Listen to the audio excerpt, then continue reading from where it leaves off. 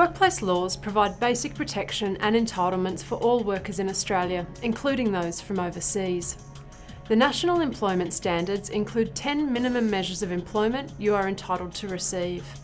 These standards are maximum weekly hours of work, requests for flexible working arrangements, parental leave and related entitlements, annual leave, personal carers and compassionate leave, community service leave, long service leave, public holidays, notice of termination and redundancy pay, and provision of a Fair Work information statement. More detailed information about these standards and your workplace rights is available from the Fair Work Ombudsman website or by phoning 13 13 94. Your minimum rights and conditions at work may be set by a legal document such as an award, an agreement or a contract of employment.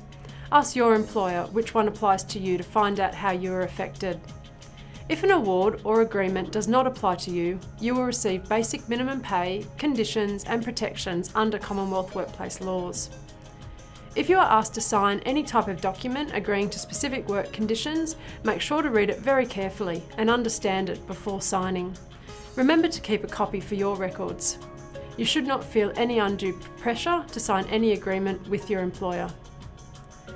Employers must issue pay slips to you within one working day of your pay day.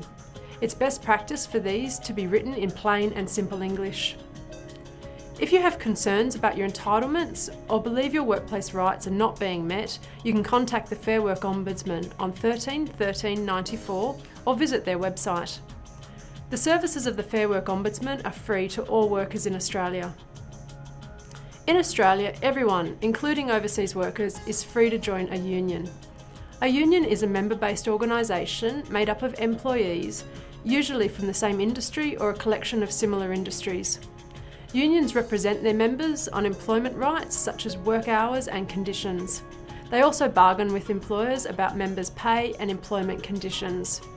If you experience difficulty in the workplace, you may wish to contact a union for assistance. For more information about membership, you can visit the Unions Australia website. As well as the basic protections provided by workplace laws, immigration laws also protect you. Businesses that employ overseas workers are responsible for checking their workers' rights to work in Australia. This means your employer may ask to see your passport or other identification.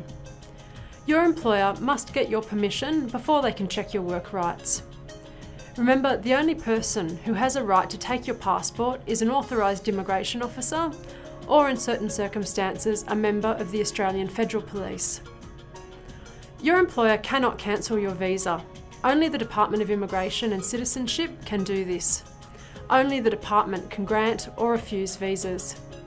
The department can provide you with information on visa choices, rights and obligations, including how to change your sponsor or apply for permanent residence.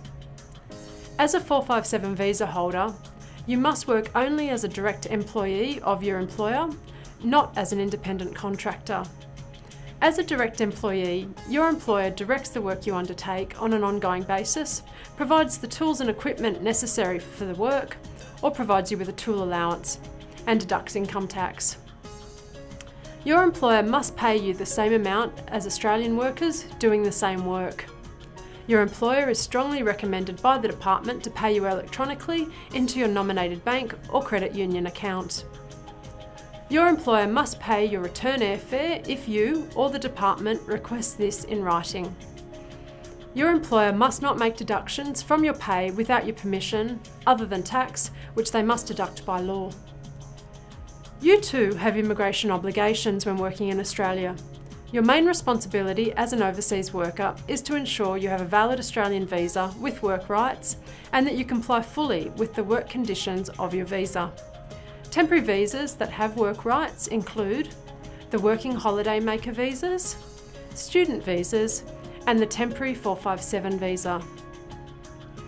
If you are unsure of your work and visa entitlements, please visit our website to use the free Visa and Work Entitlement Service also called VEVO. It's a requirement for 457 visa holders that you work in the job for which you have been approved. This means your employer cannot make you work on tasks not related to your job.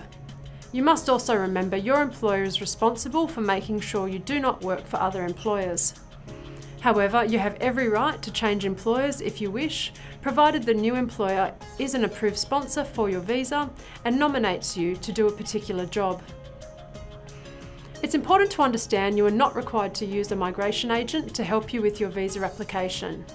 However, if you decide to use a migration agent, you must ensure they are registered with the Office of the Migration Agents Registration Authority please visit the Migration Agents Registration website for more information.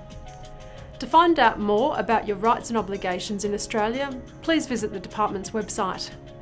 There is also more information about Australian workplace laws on the Fair Work Ombudsman website. And finally, for information about union membership, please visit the website of Unions Australia.